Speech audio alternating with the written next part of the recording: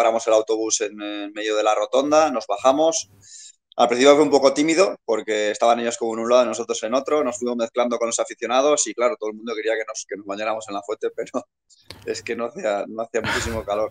No era el Nos mejor día. ahí a la parte intermedia de la, de la fuente, eso sí, y algunos se metió, ¿eh? los aficionados al final se metieron, Adam, Adam Sola se metió, eh, Iñaki el segundo también se metió, o sea que, que entonces bueno, fuimos ahí en mitad y todo el mundo flipaba, de- claro, los que sabían de qué iba el tema, bien, pero los que no tenían ni idea se quedaban ahí, paraban el coche, tal, les hacían fotos.